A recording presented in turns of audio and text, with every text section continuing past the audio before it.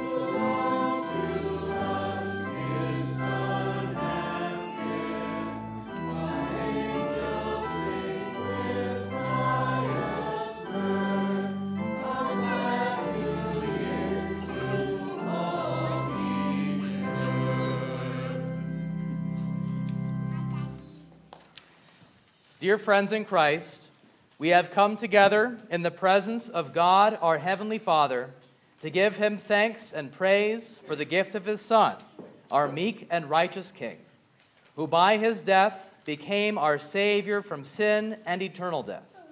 By His Holy Spirit, may He enlighten, govern, and direct us, that we may ever remain faithful to this righteous King and Savior and not be offended by his humble form and despised word, but, firmly believing in him, obtain eternal salvation and the fullness of joy in heaven. To this end, may God the Father grant you his grace through our Lord Jesus Christ. Amen. Amen.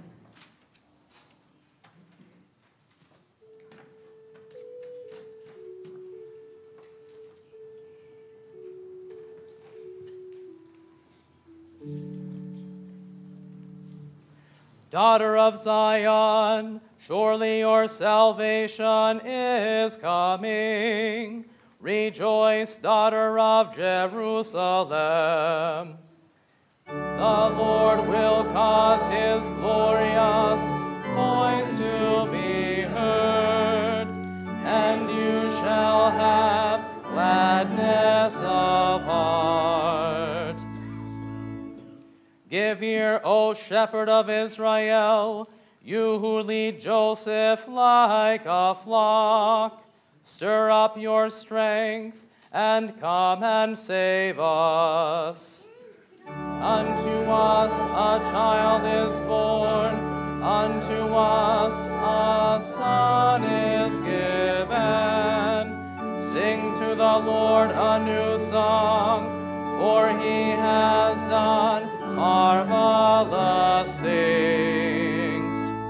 Glory be to the Father, and to the Son, and to the Holy Ghost, as it was in the beginning, is now, and ever shall be, forevermore.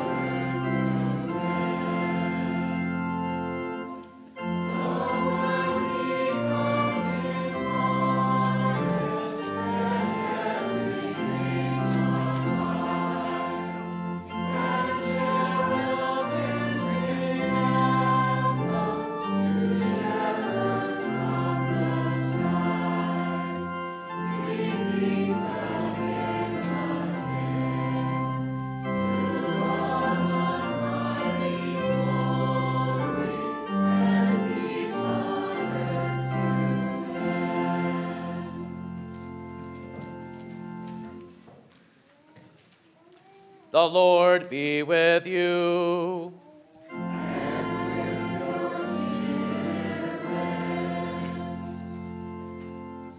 Let us pray. O God, as you once caused this holy night to shine with the brightness of the true light, grant, we pray you, that we who have known the mysteries of that light here on earth may come to the fullness of its joys in heaven. Through Jesus Christ our Lord, who lives and reigns with you and the Holy Spirit, one true God, now and forever. Amen.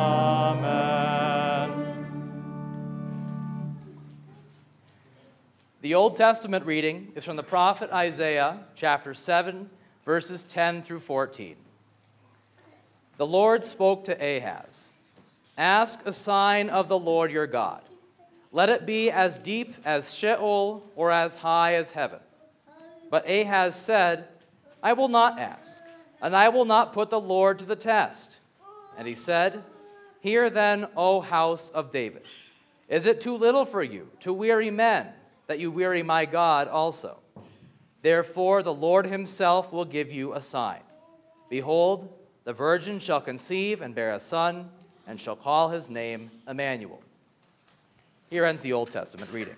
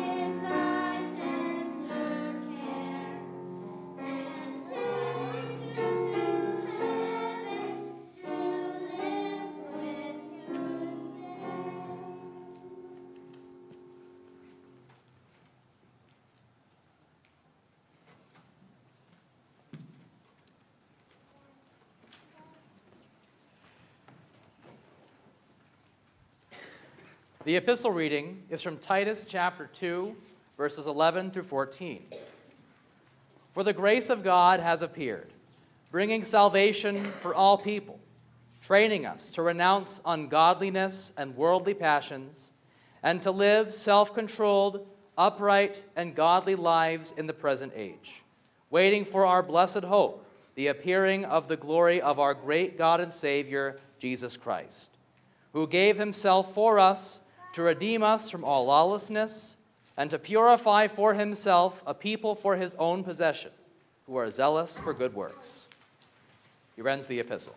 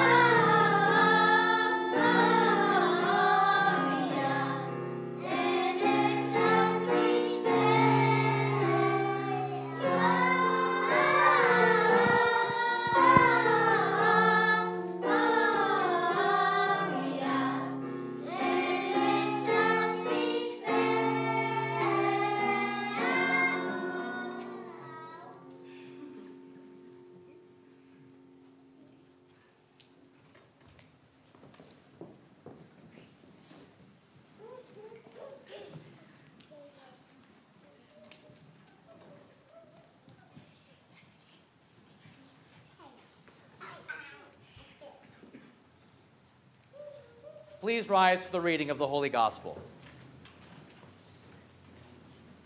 The Holy Gospel for Christmas Eve is from the second chapter of the Gospel according to St. Luke, verses 1 through 14. In those days, a decree went out from Caesar Augustus that all the world should be registered.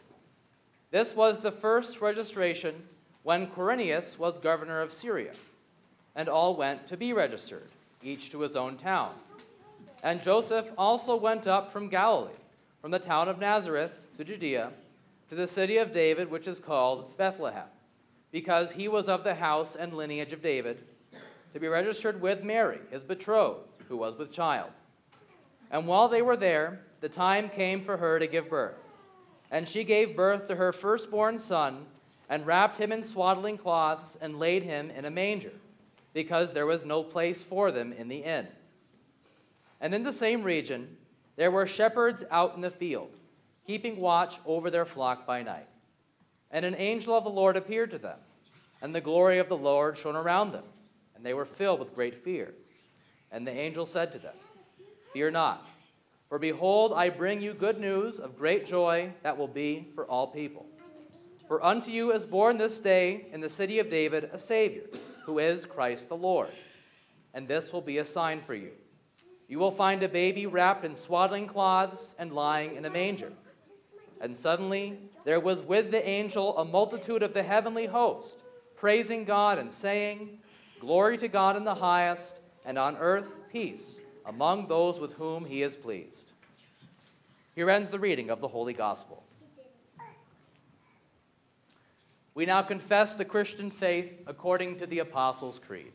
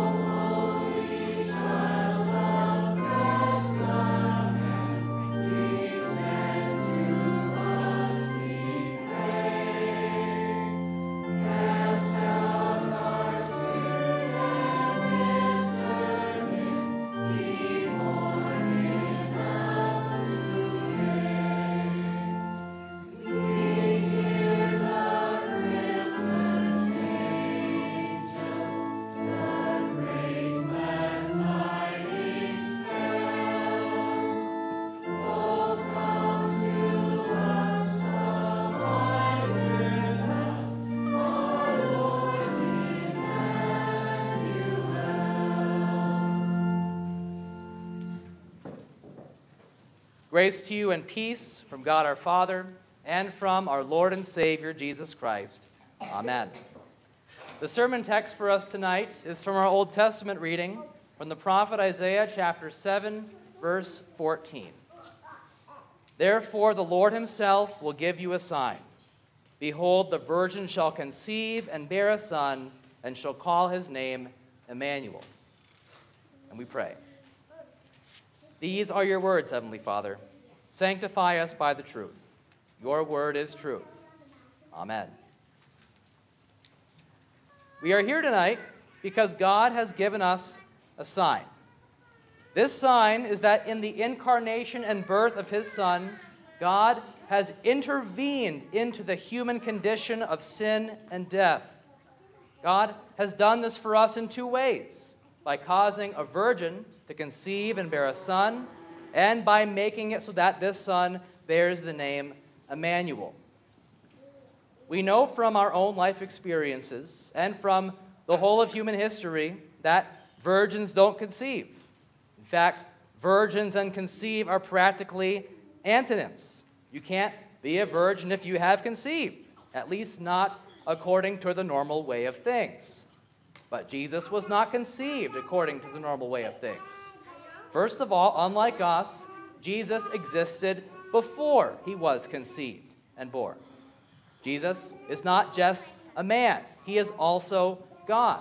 According to his eternal divine nature, he has existed with God the Father and the Holy Spirit from eternity.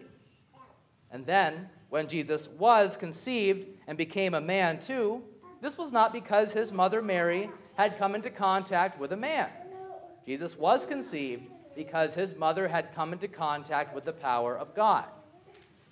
As we read in Luke chapter 1, before the events of tonight's gospel happened, Mary was just another Hebrew girl living in the village of Nazareth. Mary was engaged to be married to a man named Joseph. By all accounts, Mary was just living life, minding her own business.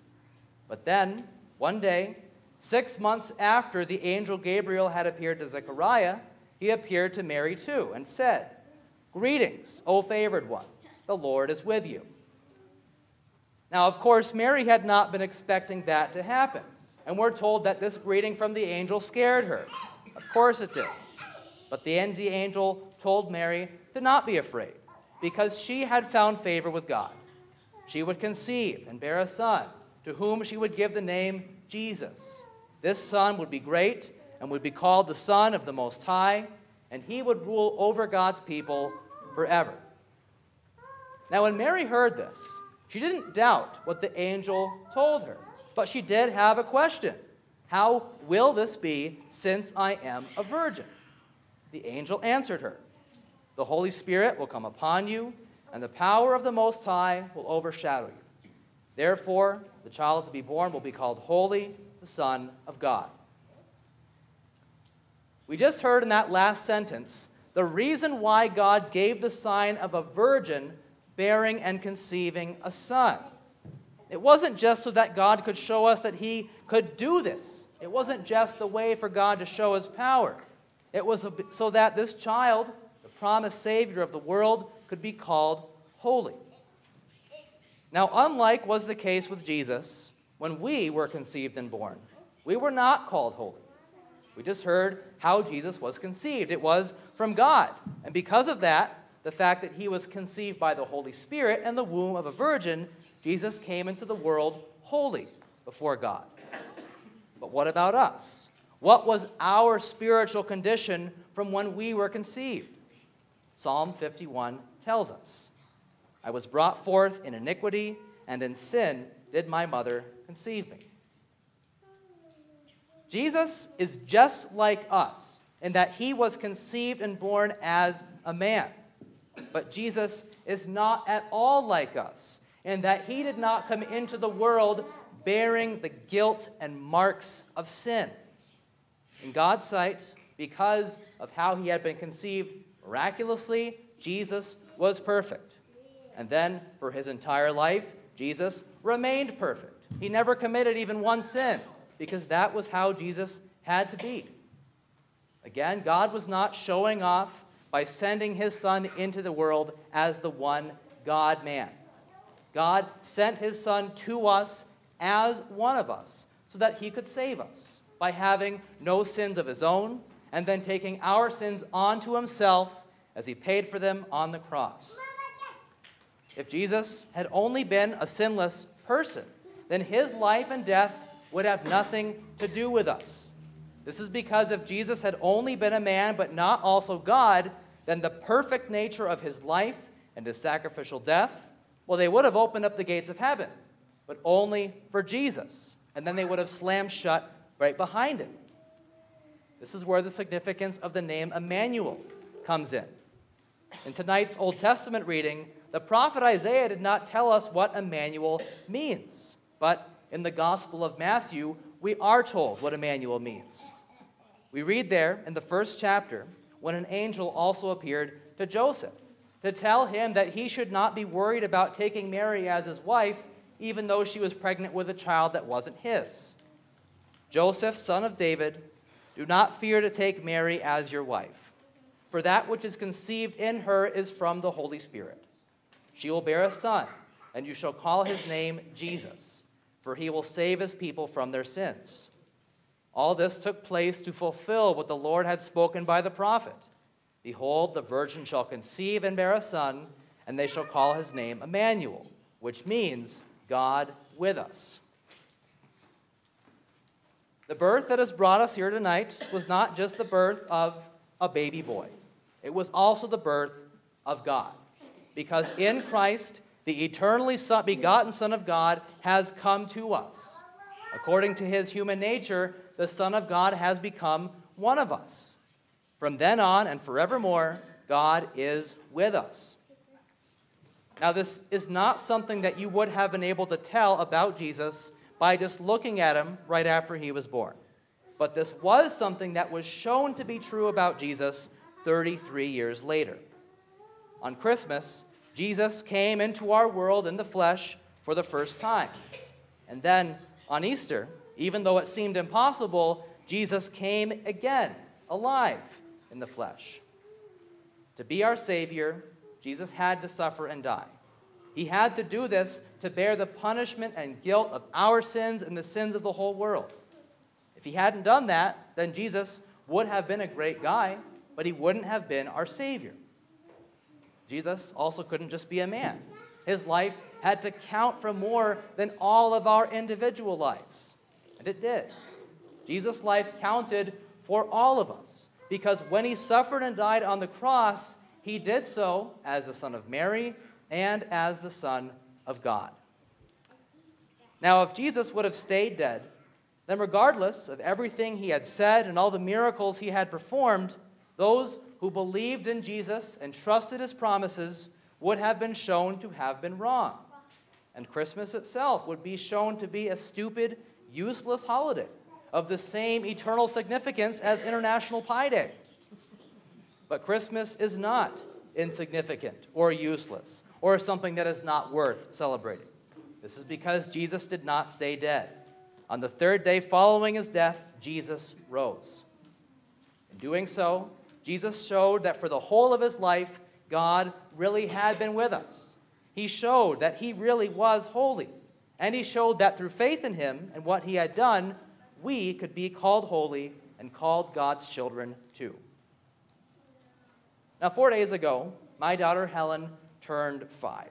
So, of course, my family celebrated her birthday. But when we celebrated Helen's birthday, we were really only celebrating her. We weren't celebrating something about ourselves. But whenever we all celebrate Jesus' birth at Christmas, we are also celebrating something about ourselves. We are the ones for whom Jesus was conceived and born. It was for our sake that Jesus assumed our human condition and then grew up and lived a perfect, sinless life according to the same demands of God's law that apply to us. It was for us that Jesus allowed himself to be crucified and killed. It was for us that he rose from the dead to validate all of God's prophecies and promises. And it is for us and for all sinners like us that Jesus is still with us through his word. Even though Jesus has already been born, lived, died, rose, and ascended to the right hand of God the Father, Jesus is still with us and working in us through his word. His word is the enduring sign that God has left for mankind. Even though we don't see Jesus physically walking and speaking among us as he once did, whenever we encounter Jesus through his word, we do see him and hear him through eyes and ears of faith. That, after all, is the reason why we have come together here tonight. It isn't just to see the kids sing for us, even though it was cute. It isn't just because we like being in a candlelit room, singing Silent Night with other people, even though that is a moving experience. We are here tonight, and God willing, we'll come back next year and many times in between because we believe that in Christ, God has intervened to save us. He has caused a virgin to conceive and bear a son, so that the child whom she bore and to whom she gave the name Jesus could be our divine and human Savior. Glory to God in highest heaven, who unto us his Son hath given, while angels sing with pious mirth, a glad new year for all the earth. Amen. Now may the peace of God, which surpasses all understanding, guard your hearts and minds through faith in Christ Jesus our Lord. Amen.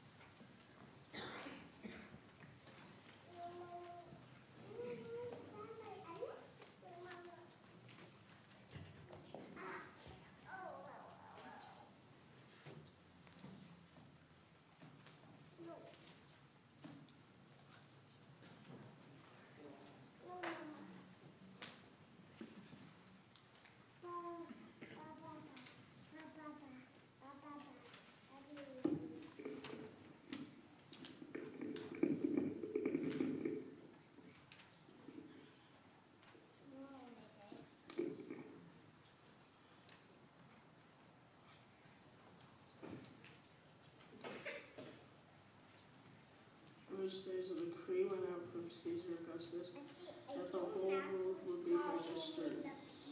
And all went to be registered, each to his own town. And Joseph also went from Galilee, from the town of Nazareth to Judea, to the city of David, which is called Bethlehem, because he was the house and lineage of David, to be registered with Mary, his betrothed, who was with child. And while they were there, the time came for her to give birth, and she gave birth to her firstborn son, and wrapped him in scarlet cloths, laid him in the manger.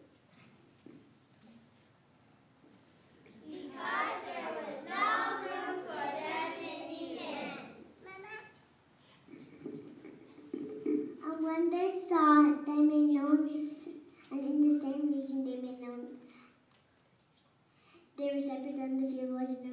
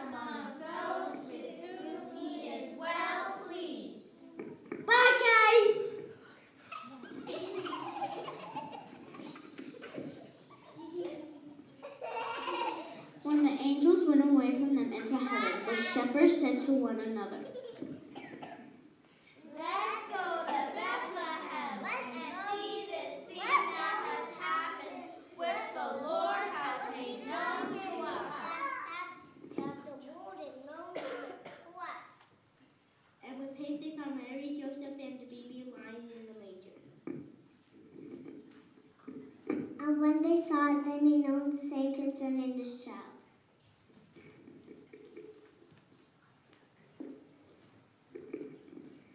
And all who heard it wondered in what in what the shepherds told.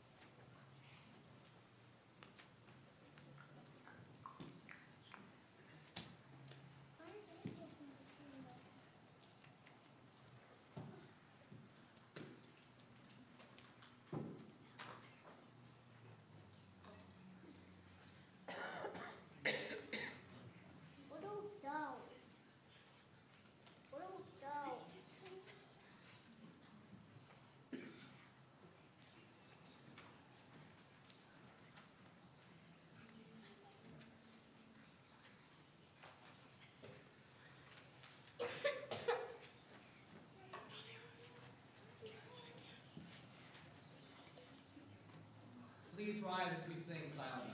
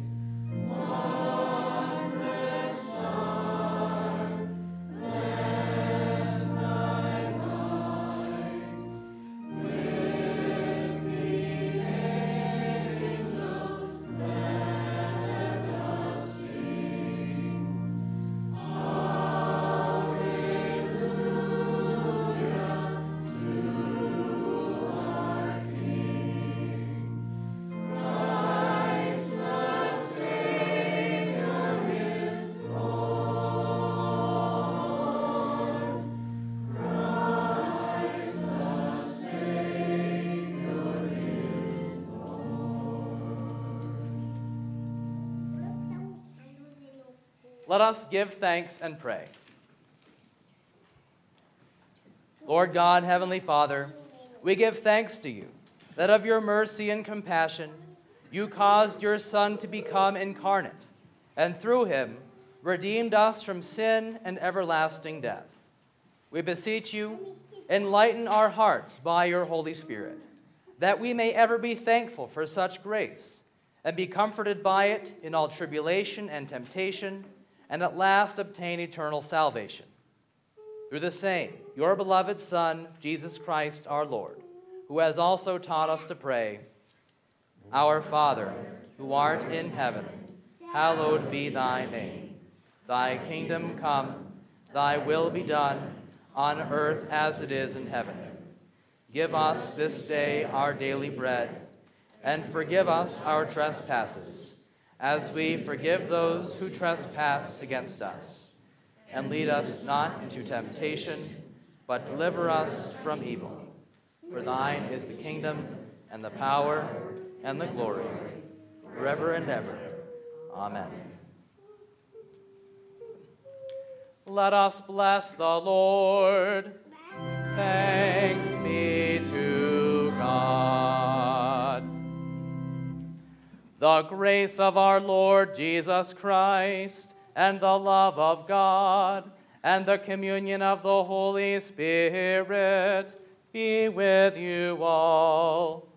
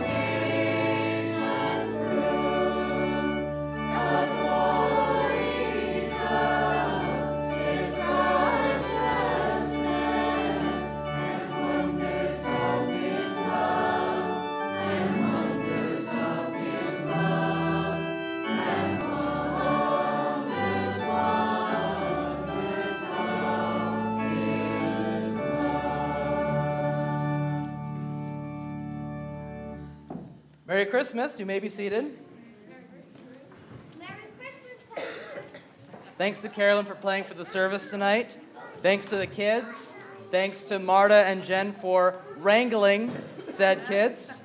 If you're joining us as a visitor tonight, thank you for being with us. Please know that you can sign our guest book before you go, and you're always welcome to join us again. In fact, you're all welcome, welcome to join us again just tomorrow because there is so much going on at Christmas, you can't even fit it in one worship service. So we're going to have our Christmas Day service tomorrow at 10:30. I hope to see many if not all of you there. And so until we meet again, may God's peace keep all of you.